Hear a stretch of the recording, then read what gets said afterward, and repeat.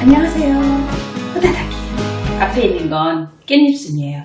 요즘 마트에 가면 이렇게 다발로 깻잎순 많이 팔거든요. 오늘은 깻잎순 볶음 만나게 볶아볼게요. 깻잎순은 이렇게 되어 있거든요. 요걸 다 몽땅 데치는 게 아니고요. 윗부분 뚝 끊어주세요. 그런 다음에 얘를 두세 번 깨끗하게 씻어주세요. 굵은 소금 천일염이에요. 숟가락으로 2분의 1 넣어서 이렇게 녹여주세요. 그런 다음에 깻잎순 씻은 거거든요. 어, 다 넣었는데요. 삶는 게 아니고 살짝 데치기만 하는 거예요. 뜨거운 물에 다 하니까 깻잎순이 숨이 확 죽었죠? 이때 바로 건져내세요. 그래서 흐르는 물에 두세 번 깨끗하게 씻어서 더 꾹 짜주세요. 깻잎순을 살짝 데쳐서 이렇게 꾹 짜줬어요. 물기 없이 꾹 짜주셔야 돼요. 이제 여기에 조림간장 한 숟가락. 조림간장이 일반 그냥 진간장도 되고 양조간장도 되는데요. 요 조림간장을 넣으면 그 볶았을 때 맛이 훨씬 더 맛있더라고요. 국간장 하나, 들기름 두 개, 다진 마늘 3분의 2. 모든 양념을 넣고 먼저 조물조물 해주세요.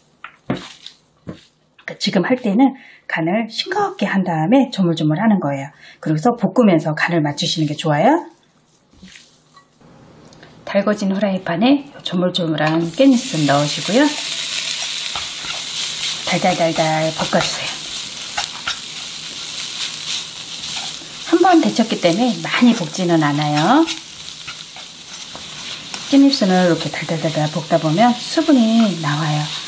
그래서 이 수분이 어느 정도 날아갈 때까지만 볶아주시고요. 수분이 날아가면서 이 깻잎에 간이 되는 거거든요. 이제 간을 한번 보세요. 내 입에 간이 맞는지. 간이 딱 맞아요.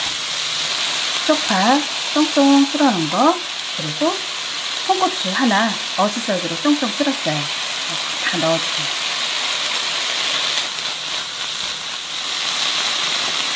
어느 정도 볶아졌을 때 깨 있죠. 손 깨끗하게 씻은 다음에 이렇게 비벼서 넣어주세요. 통으로 넣지 마시고요. 깻잎순이 다 볶아졌어요. 그러면 불을 끄시고요. 여기 이제 들기름 한 바퀴 정도 두르세요. 부적부적해서 마무리 해주시면 돼요. 향긋한 깻잎순 볶음 만나게 볶아봤어요.